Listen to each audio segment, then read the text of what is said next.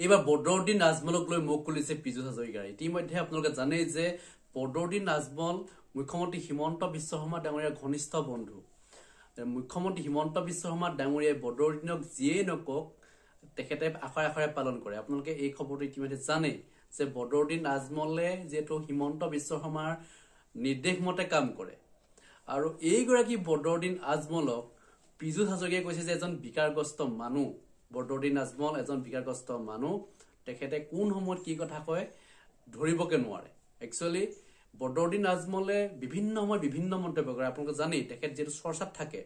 এইগৰাকী বদৰুদ্দিন আজমলক লৈ যিহেতু বিজেপি চৰকাৰখনে এটা সময়ত যিটো গেম খেলিলে যেনেকে চৰকাৰখন শাসনলৈ আহিলে আৰু এইবাৰো বদৰুদ্দিন আজমলকে টাৰ্গেট কৰিছে যে লৈছে যাতে নেক্সট বাৰো যাতে যি ইতিমধ্যে লোকসভা নিৰ্বাচন আহিছে সেই লোকসভা নিৰ্বাচনত যাতে ভোটবিলাক বিভাজন কৰিব পাৰি।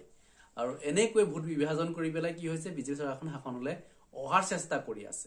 গতিকে এই ক্ষেত্ৰত পীযুষ হাজৰিকাই কি বুলি কৈছে আপোনাক শুনাই ল'ব বিচাৰিছো। কাৰণ এইগৰাকী পীযুষ হাজৰিকাই জানে যে বদৰুদ্দিন আজমলক টাৰ্গেট নকৰিলে জিকিব নোৱাৰি। গতিকে কি কৈছে আপোনাক এবাৰ শুনি লওক। মইতো ভাবোঁ যে তেওঁৰ মানসিক গণ্ডগোল হৈছে গতিকে তেওঁ আজিকালি জিতি বকে গতিকে বদৰুদ্দিন আজমলৰ ওপৰত মই কথা ক'ব নোখোজোঁ। তেওঁলোকৰ তেওঁলোকৰ জাতি তেওঁলোকৰ ধৰ্ম তেওঁলোকৰ সম্প্ৰদায় তেওঁলোকে যি কৰে কৰক মই ক'ব নিবিচাৰোঁ। মই বদৰুদ্দিন আজমলৰ ওপৰত কমেণ্ট নকৰোঁ। তেওঁ এটা তেওঁ মইতো ভাবোঁ যে তেওঁৰ অলপ মানসিক গণ্ডগোল হৈছে গতিকে তেওঁ আজিকালি জিতি বকে গতিকে বদৰুদ্দিন আজমলৰ ওপৰত মই কথা ক'ব নোখোজোঁ।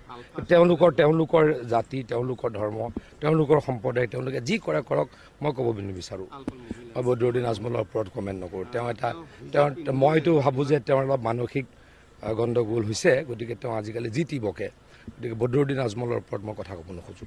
তেওঁলোকৰ তেওঁলোকৰ জাতি তেওঁলোকৰ ধৰ্ম তেওঁলোকৰ সম্প্ৰদায় তেওঁলোকে যি কৰে কৰক মই ক'ব নিবিচাৰোঁ